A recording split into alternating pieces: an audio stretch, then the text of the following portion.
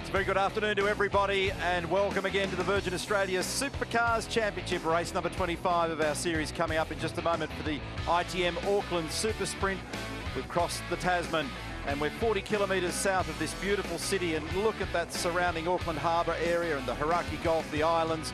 There's so much to see and do in this wonderful location. Great host this weekend here in Auckland and looking forward to a continuation of the Supercars Championship battle this afternoon. We've already conducted a race. It's all about sprint racing this weekend.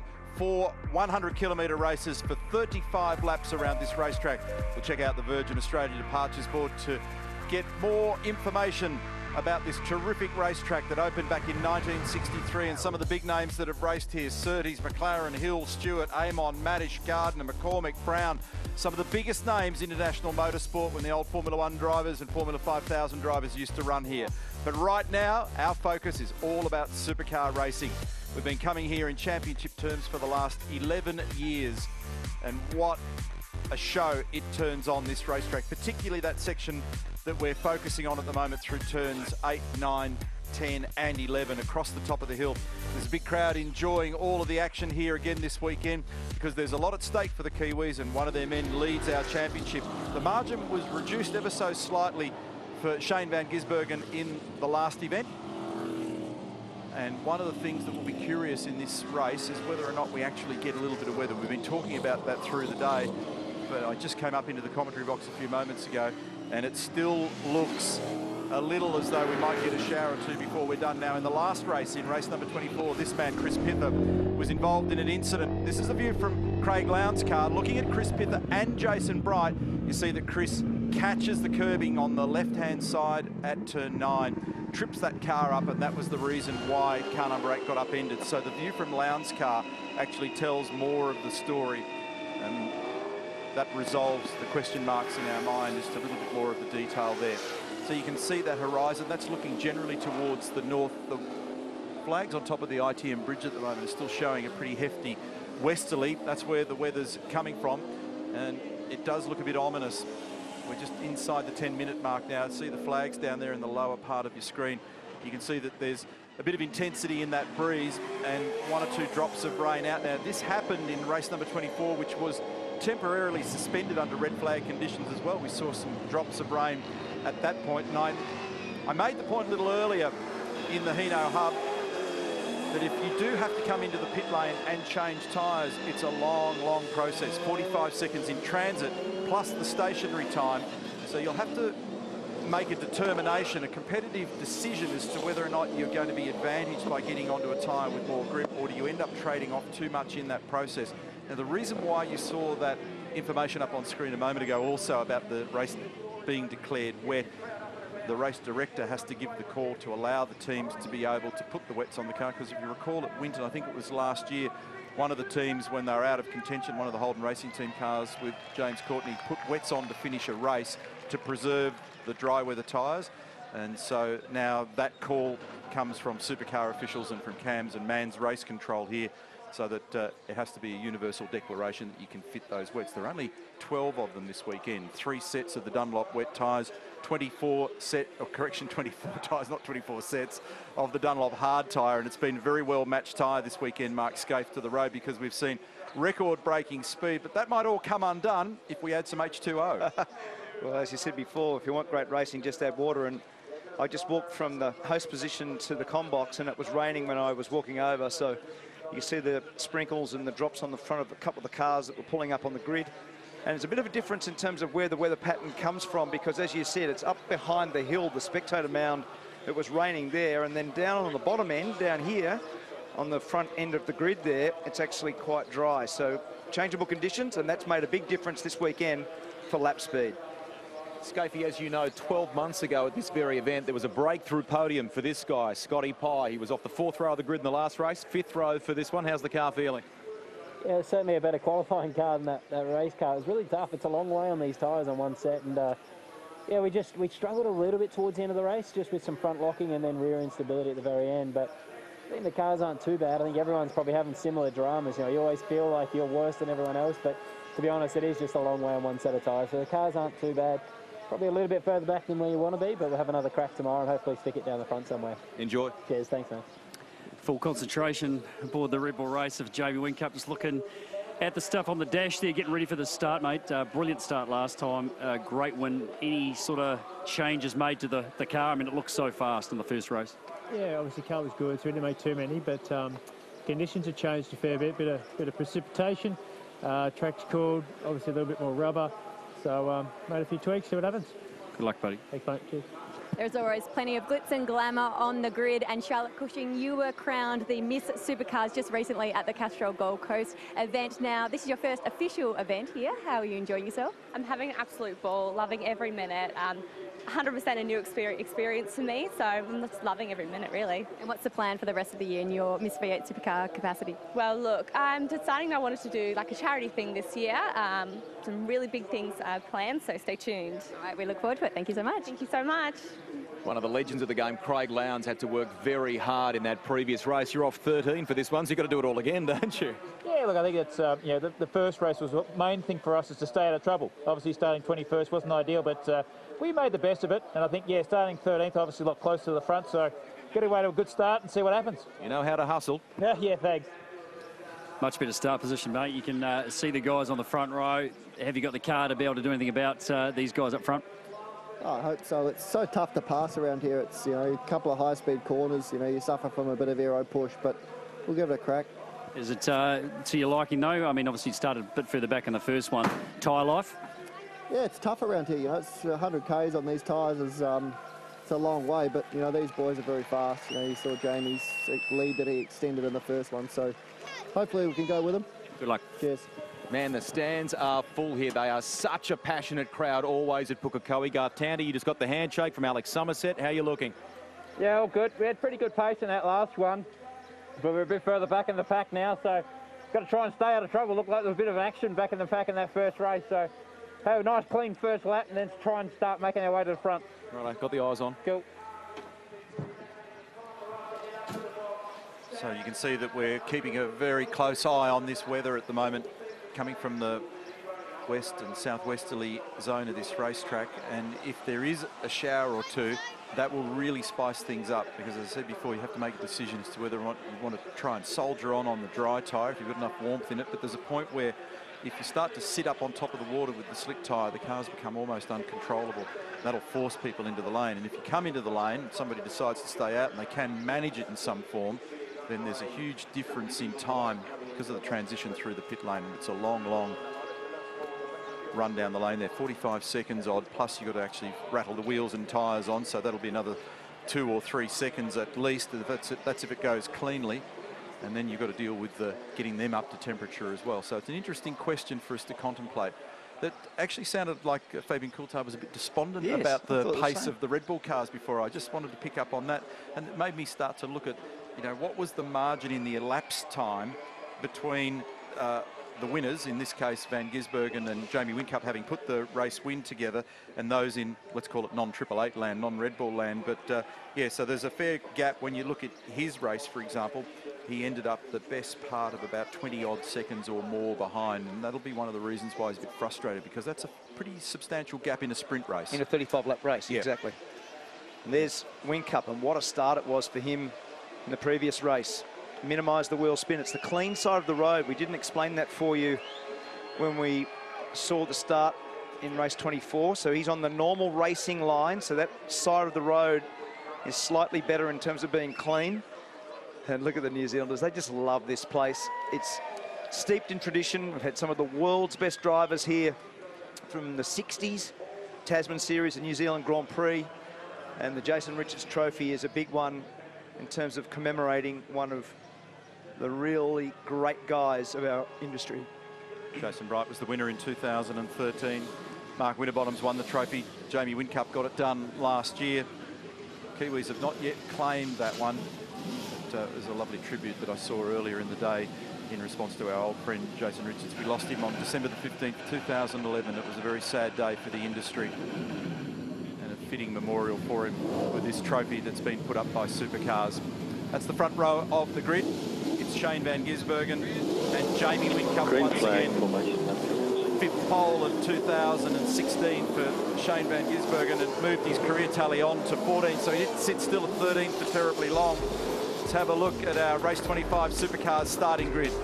So it's an all Red Bull lockout on row number one, Van Gisbergen and Whincup. Whincup having won that last race. Then Mostert and Coulthard. So Falcons on row number two. They're certainly in a better position to throw a punch this time. Will Davison and Mark Winterbottom on the third row of the grid from Caruso and McLaughlin. Scotty is continuing to experiment with a few little changes on that car to try and smarten it up. Then Pye and Reynolds on the next row of the grid. Further back positions 11 and 12 Cam Waters and Todd Kelly had some steering damage on that car in the last event for Todd. Then Craig Lowndes followed by Rick Kelly, Garth Tander and James Courtney. Those Holden Racing Team cars absolutely chained together this weekend. Jason Bright and Dale Wood. Now Brighty's car is in a very sad state, so disregard the graphic. They're still working on that car and they will be well into the evening and it'll be a real job to even turn it around and get it here tomorrow. The damage is just massive. a crawl all over it. Andre Heimgartner, Chris Pither. Sadly for Chris, pit lane drive-through penalty in that last race after the problem at turn nine. Shay Davies and Tim Slade. Been a tough weekend for Brad Jones Racing because Tim had some damage to recover from as well. So he's up the back of the grid. So here's the field coming into position. So when you look in the other direction, that's up towards the northeast. Blue sky there. And that's been the pattern of the week so far. So yesterday we started practice with a wet track and then it quickly dried. Depending on where you look at the moment and where you stand, you may well get wet. There's the situation for this race. 25 runners, 100 kilometres, 35 laps the journey. That's looking to the south and southwest, and that's generally where a bit of the weather's been coming from. Great view of the grandstand here. Remember that this location uh, shared sporting activity with horse racing over many years as well. We came back here in 2013, having been further south down at Hamilton. Passionate crowd, let's join them. I've come over here to the grandstand, and these guys, they have absolutely packed out these stands. Fans, they love their motorsport and they love their supercars.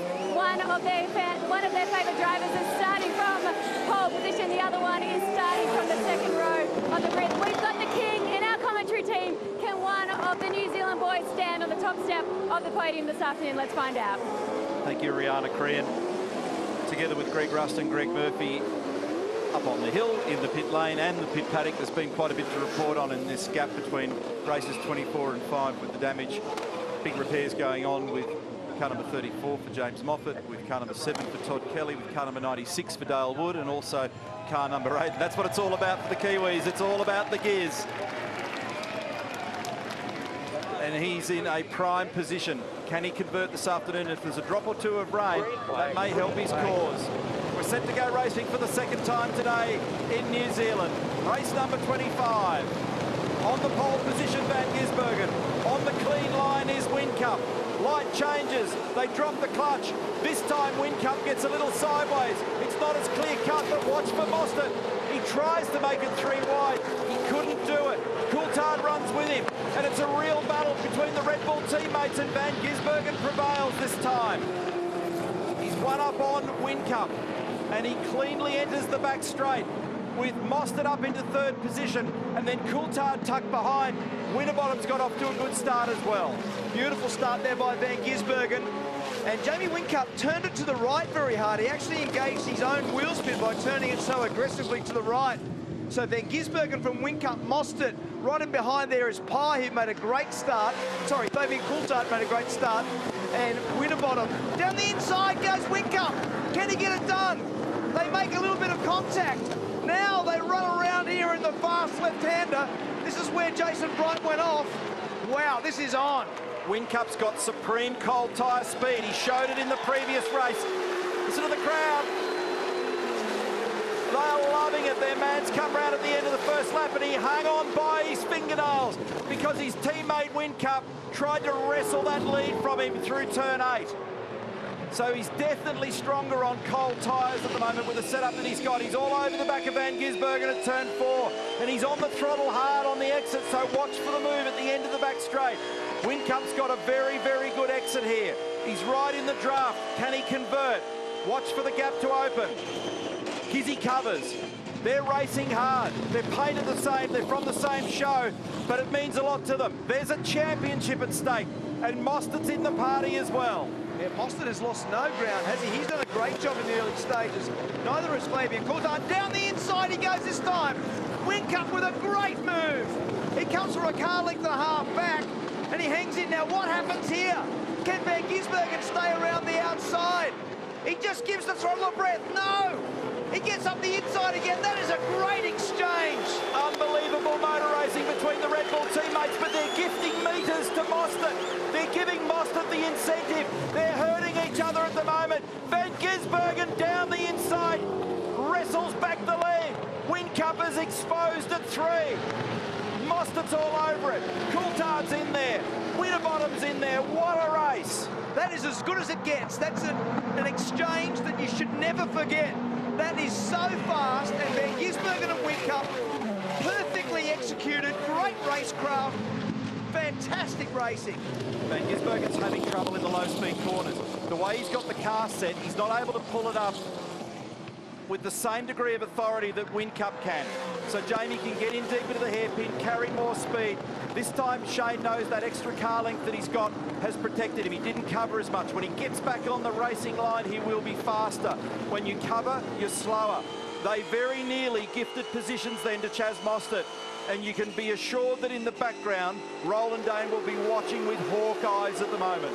That exchange, we're looking now at the two Red Bull cars from Mostert.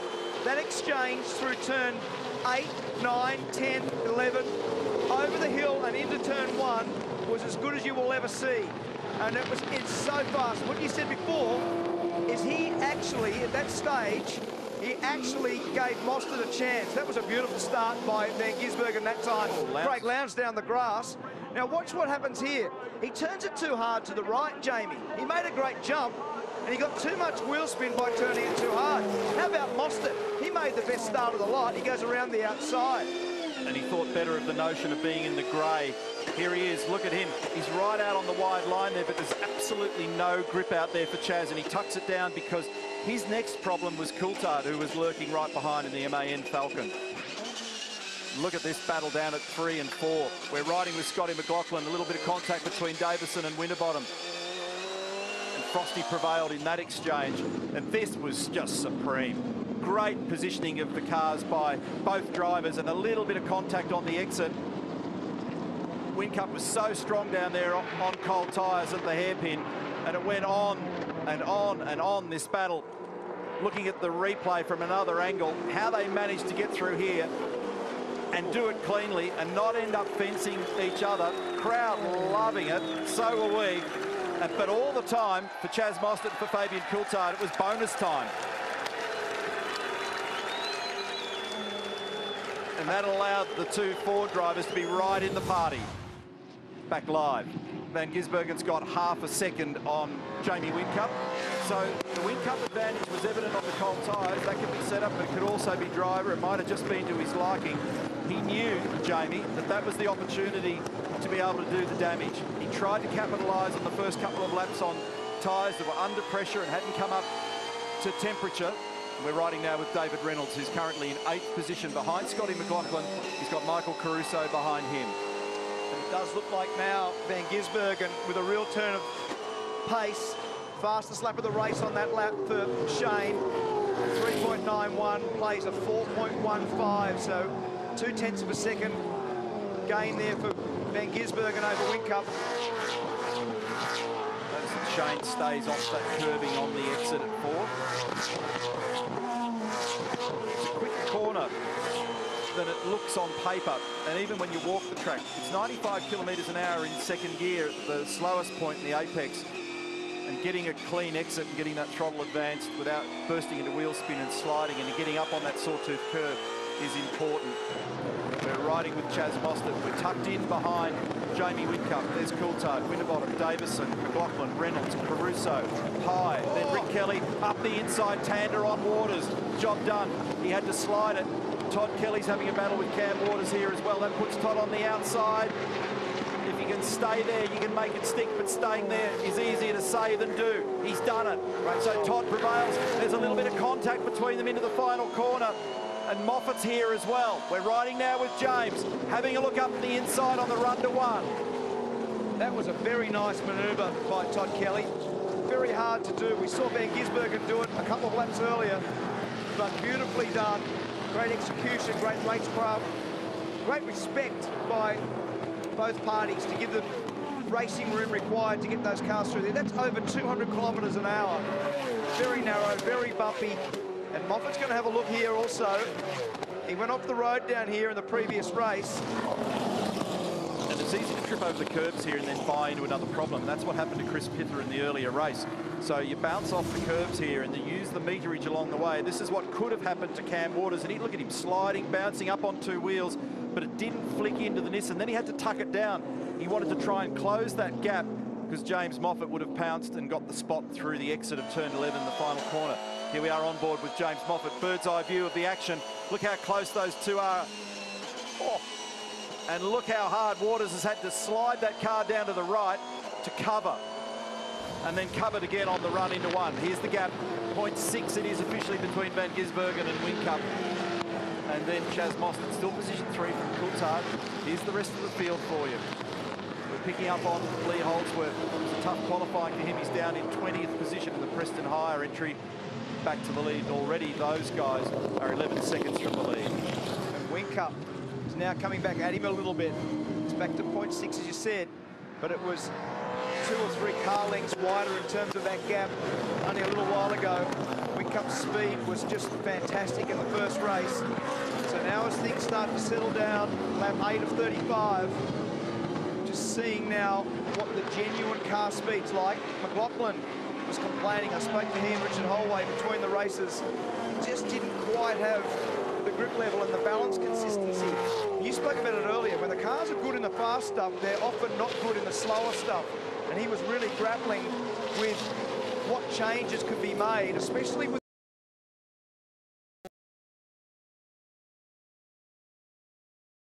usually more grip.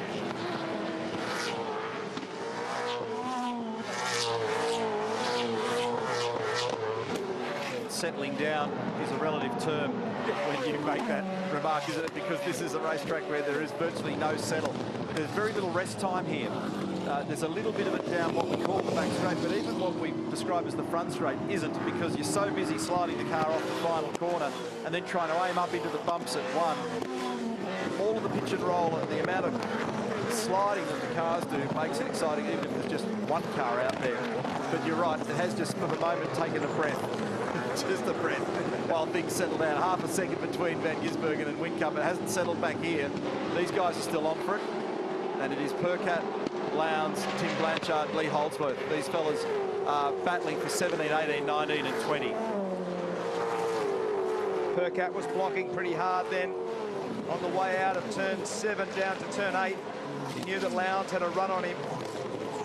So Van Gisbergen, Whincup, Mostert, Coulthard, Winterbottom, Davison, McLaughlin, Reynolds, Caruso, Pye, Rick Kelly, James Courtney, Garth Tander, Todd Kelly, Cam Waters, Moffat. That's down to the top 16. That's John McGregor. And he's the engineer on Craig Lowndes' car. Controversial news this week with Ludo Lacroix, long-term head of engineering for Triple Eight. He's been with Roland Dane for 17 years. And Ludo has announced with DJR Team Penske that he's not only leaving Triple Eight, but he's joining the Penske organisation. And for this weekend, Young Irish, which is his nickname, John McGregor, he's looking after the car with Ken Douglas, who's a very experienced engineer alongside him. He was actually part of the Russell Ingall, Marcos Ambrose, Stone Brothers days. Ken, we see typically coming back into the paddock for the endurance races, and he is very good on strategy. But it's interesting that they've retained his services to stay with the team now in sprint racing form as well, just to beef up the engineering side. So they'll attempt to flatten their structure a little bit at Triple Eight Race Engineering now as well and be less individual centric and uh, try and spread the load across younger engineers. And the announcement also during the week from Triple Eight that uh, former Formula One engineer Sam Michael will be joining in a mentoring and consulting basis uh, in the engineering group, having spent a lot of time at Williams and McLaren lately as the sporting director, and he'll dramatically strengthen them, particularly as they start to prepare for the engineering procedure that brings the new car in for General Motors for Holden, so the, the new version of the Holden Commodore when it comes along, that'll be a very big project that they've already started work on.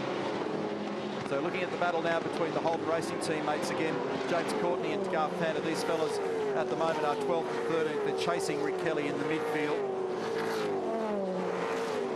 Tander just sliding up to the top of the hill on that lap.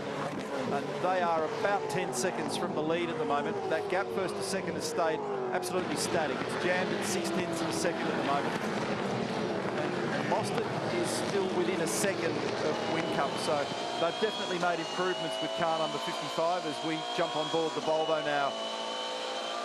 And we'll get up to 250 plus kilometres an hour, finds 255 ever so briefly. Scott McLaughlin looking at the back of Will Davison. Scotty's in seventh.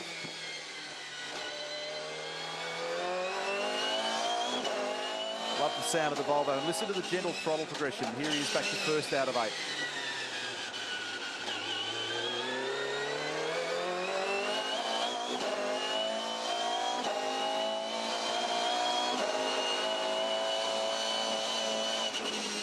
And that's a considered position. Using the throttle that way, that's all about the way in which Scott advances the throttle to preserve the rear tyres because the tyres were hurting a bit late in our first race today. High speed through one, 190 odd kilometres an hour.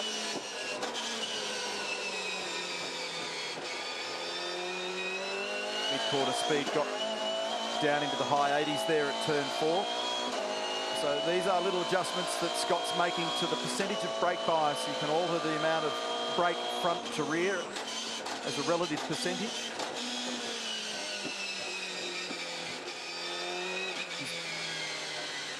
Very hungry with the way in which he loads the front tyre and very patient with his throttle application. So he maximises the load, gets right to the very grip edge of the front tyre, waits till he gets to or past the apex, and then that throttle progression there for him went all the way out of the hairpin for probably the best part of 75 to 100 metres until he could eventually get it to 100%.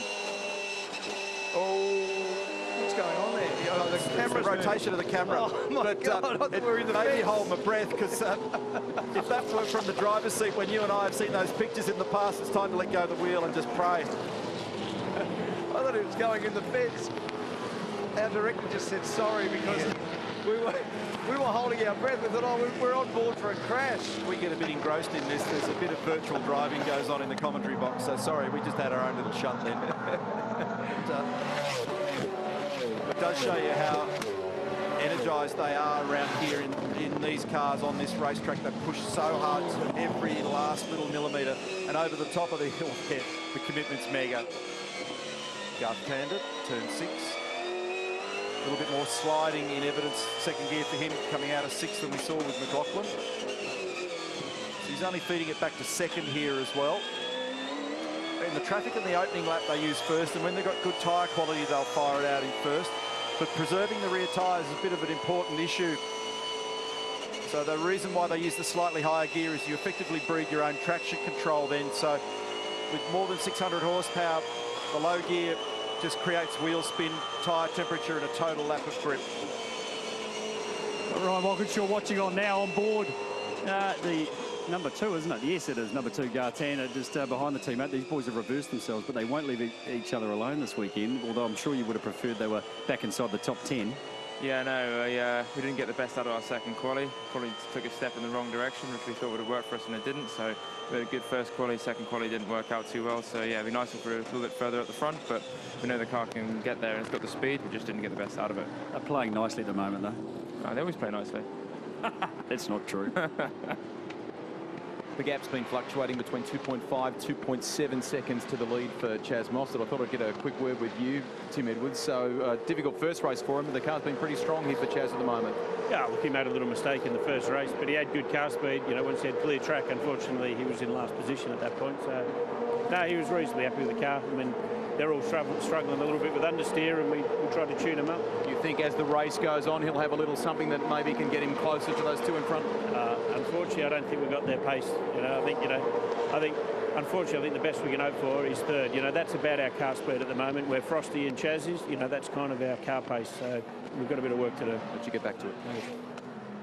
Barry Rogers, no doubt this weekend there is always a little bit of a an under the card sort of battle to be the top dog Kiwi this weekend, but it's great to have Scotty on the podium in the previous race, but doesn't quite have the pace to run up with the, uh, the, the front runners. That's right, yeah, probably qualifying when you qualify, not the is a bad qualifying uh, result, but when uh, around here you sort of need to be in that sort of top handful and uh, probably um, in, in, there behind Will, and uh, I think there's a bit of follow the leader there. So uh, 100k races, like they're good, good, races, but they're sort of half preserving the tyres to sort of get to the last 10 or 15 laps. So uh, we'll see what happens over the last little bit, but push on from there. Yep. A tenth of a second uh, has been peeled out of the gap between Van Gisbergen and Whincup. It's back down to 0.5 now, and every little bit counts.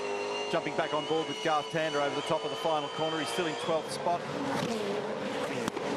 actually jumped. Oh, he's jumped James Courtney. Didn't spot that. So uh, James was sliding around one of the images that I saw earlier. Uh, so that's good pace from Tander. He snuck down the inside of turn eight. He had a big dive on uh, James. On board now with James Moffat. Moffat is right there with Cam Waters. Oh, he's got the wheels locked. He gets down there.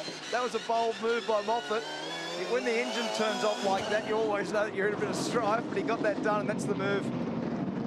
Similar, similar way. Did he give him a bump on the way in, though? I, I don't know. I didn't see. Did he make contact? Did he? I'm not sure. It was more of a rhetorical question than a statement. I just wasn't sure whether or not he actually got into the back of it. Here's the move that you noted with Garth Tander, and James made it easy, so he, he gave him the space. See how he used first gear, and then when he put it into second, it still was wheel spinning, even in second gear off that corner. It's not as nice on the loaded front for Mark Winterbottom as a couple of the other cars out there at the moment, is it? So it just looks harsh in the way in which it rides over there. So he's tucked in behind Fabian Coulthard. Fabian's now lost a bit of ground to Chaz. Chaz has scooted away, so you can just see glimpses of him off in the distance on the run to five and we've been looking in practice at Mark Winterbottom's car. Their pace is better this weekend, but as you just said, it rides the bump quite nicely. A lot of wheel spin there for Frosty coming out of turn six. But it, and listen for this, wheel spin first gear. Yeah, so a lot of the guys now using second, Frosty still using first. But it rides this bump really nicely. It really interests me it rides that bump really nicely. It doesn't ride the bump at turn one very nicely. So although they're different styles of bumps, normally if you've got a car that rides above the bump at turn 10 well, it's better at the other one. Here's Lowndes around the outside of Percat. They've been battling the whole time. That's very close. Wow, if Percat bumps Lowndes then, you have a giant accident. That was great driving. Tight. Very tight. Craig Lowndes moves up in the 17th position. And uh, just watch this on the replay. So Cam Waters in the foreground in the monster car. Nick Percat on the inside in the Adelaide Holden Commodore. And the Vortex car is Lowndes. And it's millimetres between them at the critical moment of turn-in. And when you hook up over that curve, as I said earlier in the call, then that can be catastrophic. And I'm looking at Whincup on our computer timing scope, and he's showing that he went through the shortcut at the end of the back straight his pursuit Shane Van Gisbergen, and the margin's gone out from 0.5 to 1.7. So we just caught a shot of him there a few moments ago, but he's gone straight ahead. So when they've done that a couple of times, they get a warning. It happened to Todd Kelly with that steering damage in the previous race. Tander's made a move on Rick Kelly now. Looks like he did that in the same spot as the pass on his teammate. Todd Kelly's coming on quite strong in terms of pace. He was a long way behind his brother a few laps ago. Now this is the moment. There it is. So he was only about half a second away. That's on board with Whincup. In fact, I reckon he got closer at that point, so he was deeply incentivised to try and get rid of that margin. Here it is from the other angle, and uh, Jamie's got the rear brakes chirping. In the end, he's decided better not to tour the grass, stay on the black stuff, take the pain of the chicane. It's a little bit of poetry and then uh, pop out the other side. Well, it's way a way better option than ending up on the grass. There's Tander, and uh, Rick gives him a helping hand, and James in turn is helping Rick get off the corner as well. So sorry, I called that wrong. The pass was into turn five for Tander. So he didn't get him at turn eight. We're on board now with Michael Caruso. Caruso's in ninth. in a pretty steady race. He's been behind Dave Reynolds the whole way. They've got reasonably good car pace, flowing the car quite nicely. He's the lead Nissan. Van Gisbergen, with that mistake from Whincup now, has a 2.3 second lead. A couple of other drivers have run wide down at turn five as well. Tim Slade, Shae Davies just went straight ahead down there. So a few people having a bit of a battle as the tyre condition drops off now. Grip's not what it was. This is the spot we're talking about. Michael just makes sure that he's got brake pressure. Brings those pads up to the disc face so that he's got a good solid pedal on the way in there. James Courtney's having a little bit of a battle, stopping car number 22 nicely there as well. And here we are finding Craig Lowndes again, car Triple Eight Team Vortex, tucked in behind Cam Waters in the Monster Energy Ford Falcon. Right on him. He'll have a look up the inside here at eight, and he does. He's gone down the inside. Cam's given him some space, and that's a move for position number 16 for Craig Lowndes. James Moffat's done a good job too. He's gained seven positions. So Tander up four spots. Courtney up three. Great job. Moffat up seven. That's John McGregor with his Irish accent talking to Craig.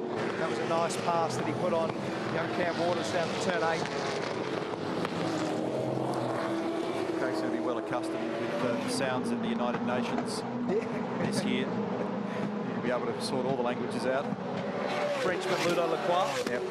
Now the Irishman McGregor.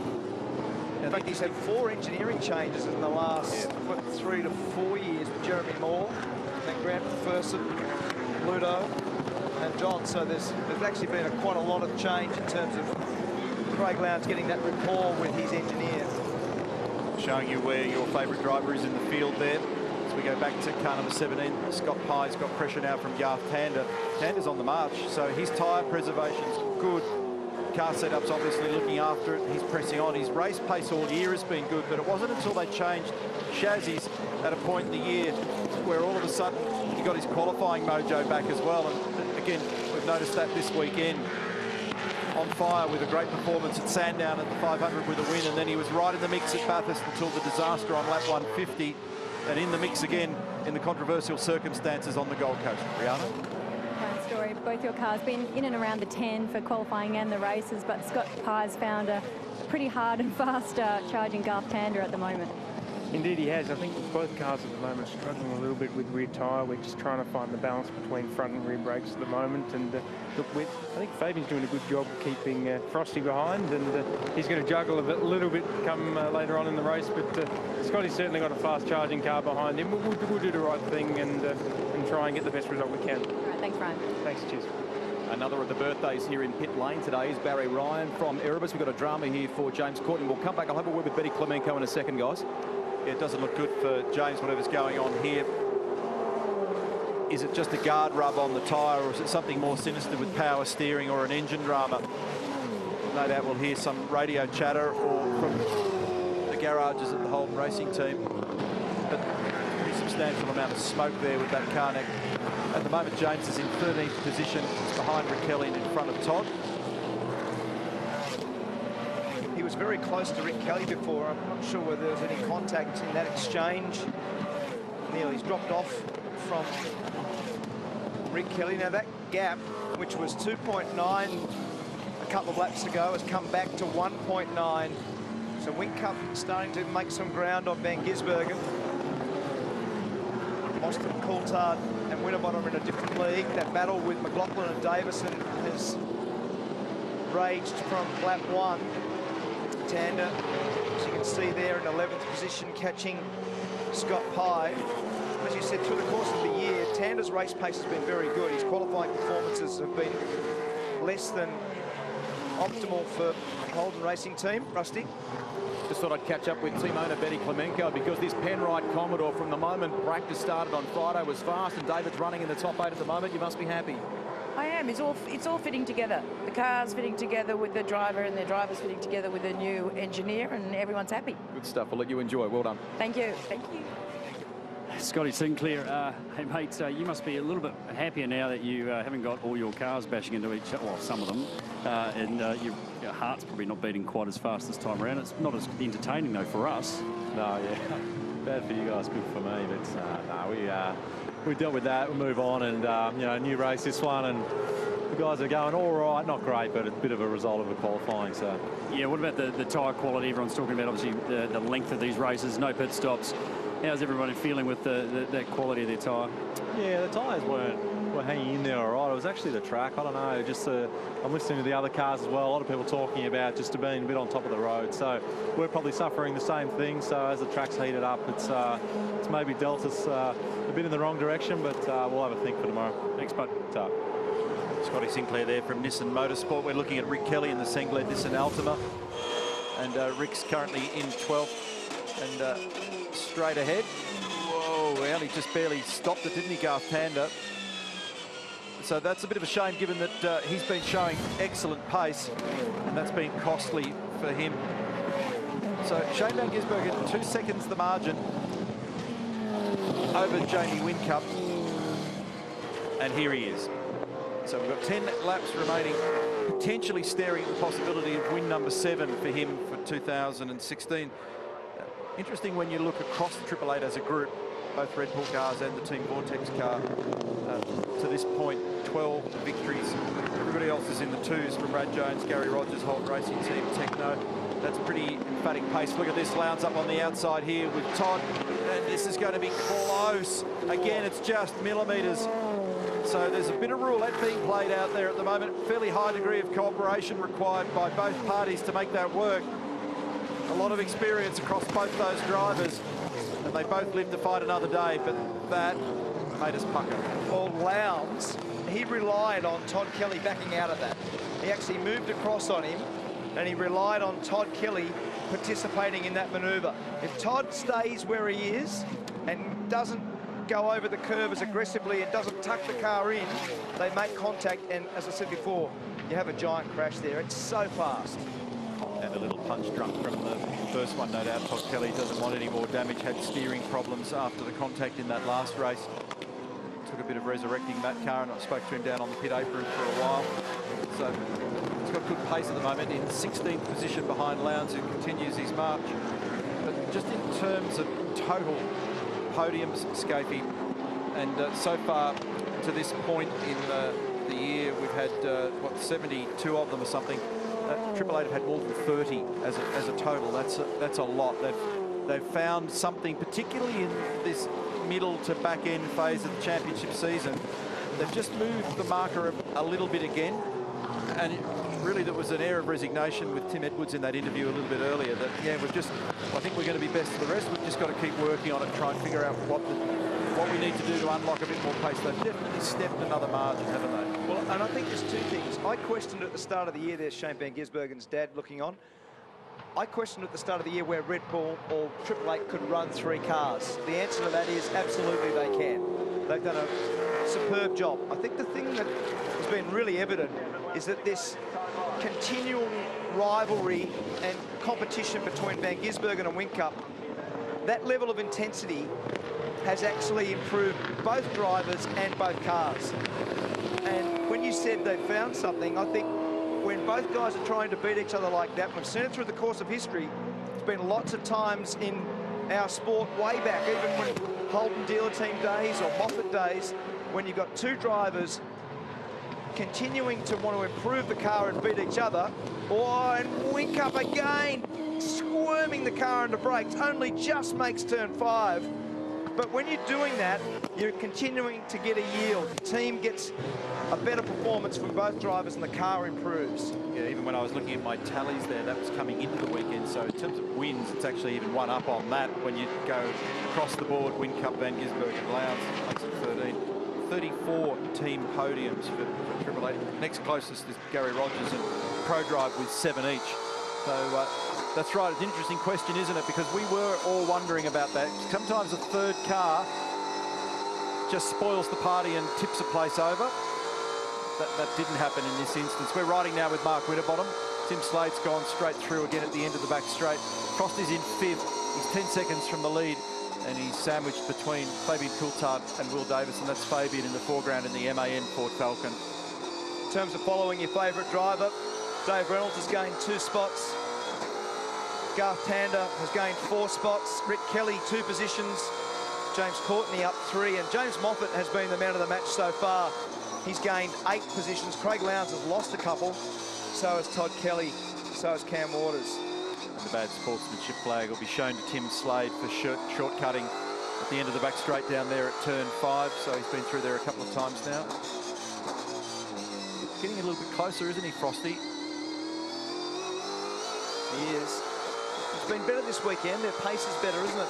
Car looks better. As I said before, it rides this bump really nicely.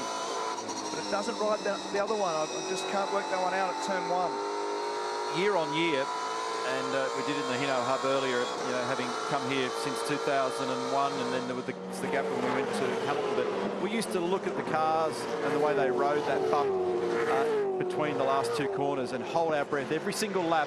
And even as drivers, you come back and you have this wide-eyed description of what was going on out there. That's all come down because the engineering so clever in these cars. The people that work on them 24/7, 365 make them better year in and year out. And the whole standard of the field's come up so dramatically. What was once a pretty significant bump down there that used to make everybody frightened with white knuckle fever has all calmed down. I don't think I've ever seen the collective of the field look as under control in that section of the racetrack. Totally agree, absolutely. And I think in the modern generation car with independent rear suspension, less unsprung weight, lots of dynamic changes that have been made to the car, that now that people are tuning these things really well, they ride that bump beautifully. Conversely, I reckon when you watch the front of the car and that great shot we've had, the slow-mo shot of turn one, I think they actually look like they're more upset at turn one. They really move around a lot. It's a different style of bump. That's the bump you're talking about there. The cars do ride them really nicely. Tander now's made all that, gap, that ground that he lost when he made the mistake. This one here, check this out now. It's the bump on the inside, and when exactly see the way that it rides it, the wheels come off the ground and then bounce back down again. And then the cars take a bite of the road, so they move in meterage across the road to the outside as they they go through the bump cycle, then the rebound cycle. See how everything's unweighted now? The whole car's in its rebound cycle. It's fully extended on the dampers, and then they they move across the track and then bottom out again, and the oscillations continue after the car lands, and that hurts the tyre. The more that you pound the wall of the tyre, the more the tyre hates it, makes heat, uh, and the tyre is an unsprung, un undamped device. And here comes Tander, who's making big ground on Pye. He's been threatening to do this in the last several laps, and he's shot down the inside and grabbed him. Remember the Tander went straight ahead at the end of the back straight, and Pye's not going to give this one away quickly. Oh, and Tander just lifted out of it and gave him back the spot. And there's probably a recollection of what happened a couple of weeks ago that he doesn't want to be involved in any more controversy. Neither of these groups want any more damage. So good decision. Both drivers racing cleanly and hard through there. Rick Kelly's right in this as well. So Garth can't afford to leave any open spaces. Oh, look, he's got a great exit off four, and he's well positioned here. Look what a couple of kilometres an hour does. Corner exit speed converts to more speed at the end of the straight. I'd love 10 bucks for every time somebody tells me it's more horsepower. It's got more to do with corner exit than anything else. Oh, and look at this. Great exchange between them. Tander slithered through five, managed to cover. Rick Kelly is right here as well in the background. Watch him to dive down at eight. But Pye covers.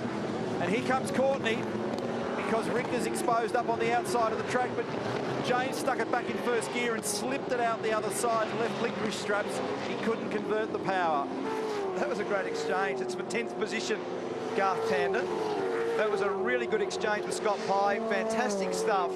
And a great braking manoeuvre in the end. He got a really good run out of turn four. And as you said, he got not only a better exit, but a little bit of draft, a little side draft that was able to just have a little bit of momentum and when we're on lap 34 of 35 now, Van Gisbergen with a 2.4 second lead over Whincup has done a beautiful job in race 25.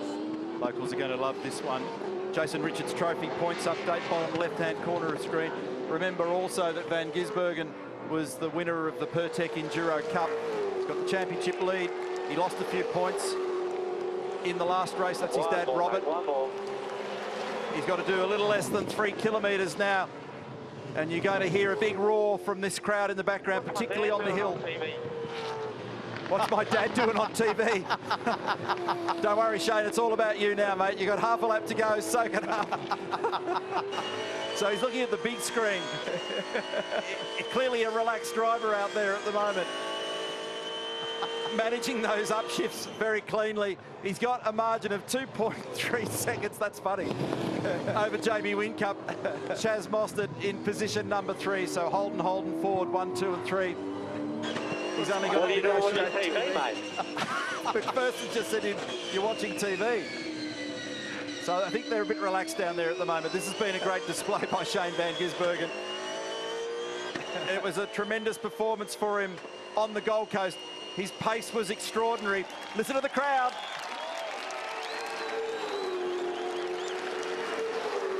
The Kiwis love it. Shane Van Gisbergen is the winner of race number 25. 75 points.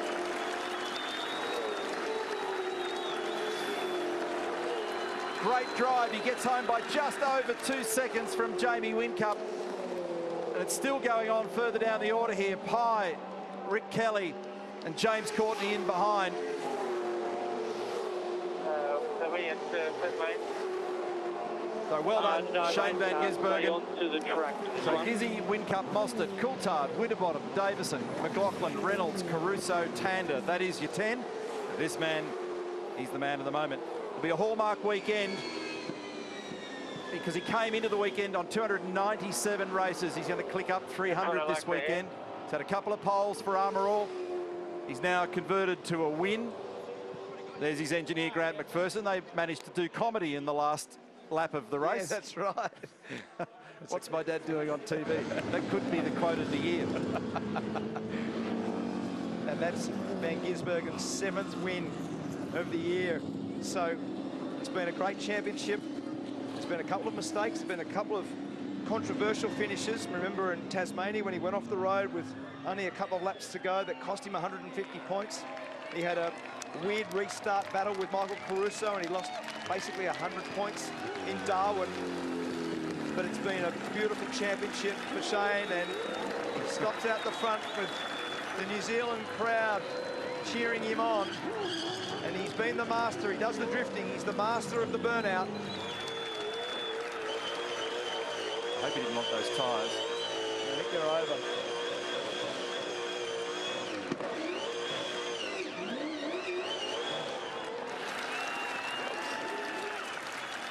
He's had an extraordinary run podiums. Came into the weekend here with nine podiums from the last 11 races. That's an incredible run of consistency and pace. And his performance in the Pirtek Enduro Cup was astonishing at Sandown, at Bathurst, and then at the Gold Coast.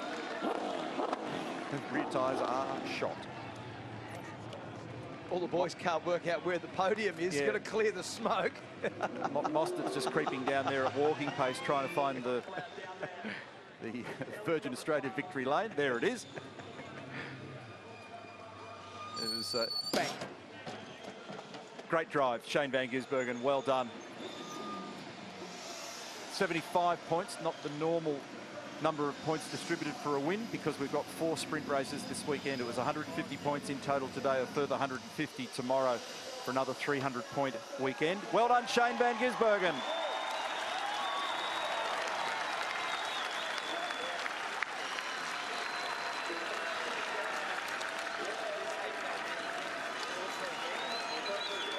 Converted from pole. Great start. The battle that he found himself in in the opening couple of laps on cold tyres with Jamie Whincup was world-class motorsport, as good as it gets. Two masters at work, a couple of great cars, and a popular win for the locals. And look at the load.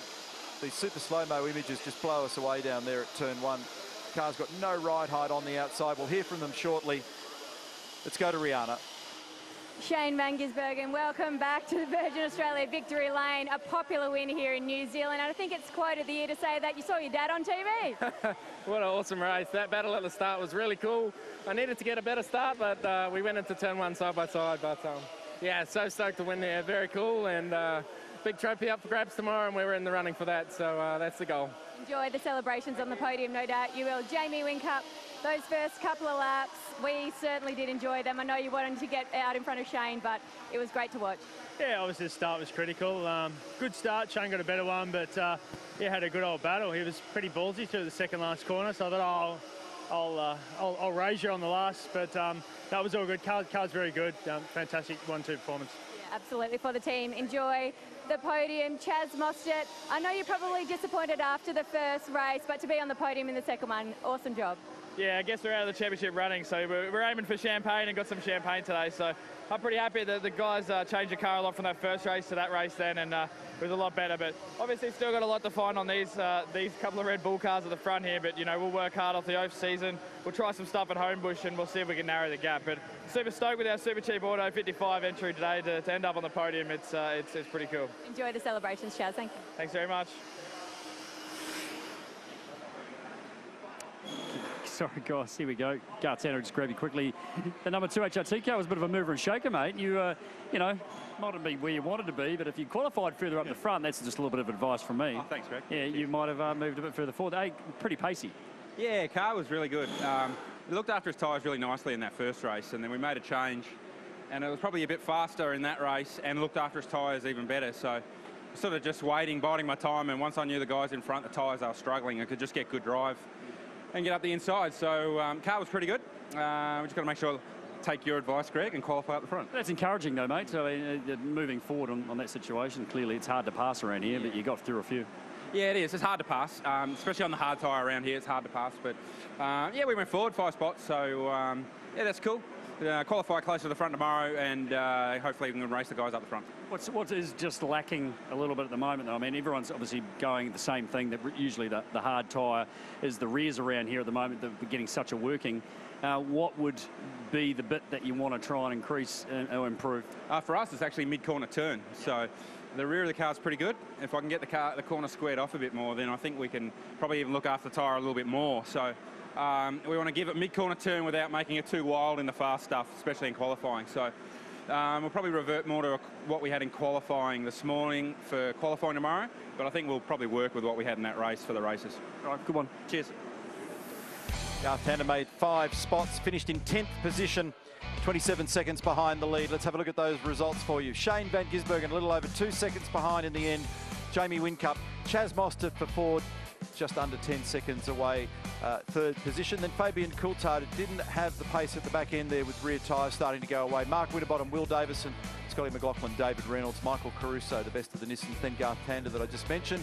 Scotty Pye, Rick Kelly, James Courtney and James Moffat. Lowndes got to 15th.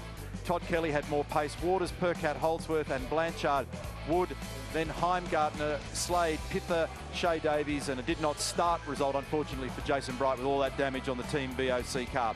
The podium is now set for race number 25. What an epic battle between the top three this afternoon. It's time for the podium for the 2016 Virgin Australia Supercars Championship ITM Auckland Super Sprint.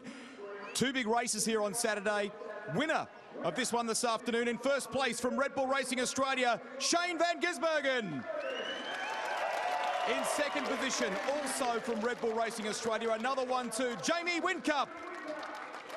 Our third place driver from Super Cheap Auto Racing, Chaz Mostert. Representing our Castrol Edge winning team, Matt Cook from Red Bull Racing Australia. Great entry, Matty. All right, here's our third place trophy to be delivered by Dave Graham, ITM key customer. Another of our ITM key customers to deliver the second place trophy. We welcome Craig Bailey. To hand over the Castrol Edge winning team trophy, Andrew Baker from Auckland Council Franklin. And our first place trophy this afternoon, the ITM National Sales Manager, we welcome Guy Williams. Ladies and gentlemen, the Race 25 2016 Virgin Australia Supercars Championship ITM Auckland Super Sprint Podium. Great job from all the boys. Let's have a look at the champ points now. And it started out as 148 coming into the weekend. Then Jamie Whincup was the winner earlier today. He pulled it down to 142. It's back out again to 148. Shane Van Gisbergen over Jamie Whincup. Then Craig Lowndes still in third spot over Scotty McLaughlin. Wait for the catch. Got it. Well done. And Jason Richards trophy points with two races down in four. And uh, Van Gisbergen and Whincup with 144 points apiece with a victory each today and a second place each. And then uh, Winterbottom in position three from McLaughlin. Highlights time now. Race number 25 of our championship season for the Virgin Australia Supercars Championship. And this time a great conversion of pace off the start line by Shane Van Gisbergen. And a couple of drivers having to take to the grass to get the job done here. And this was an incredible first couple of laps of this race. Really breathtaking stuff. And you've got to stand and bow when you look at the way in which these guys race, and particularly for teammates to do this so closely and for there to not be tears at the end of it. The crowd was loving it. We were loving it. The Red Bull Holden side by side, Van Gisbergen and Whincup at it.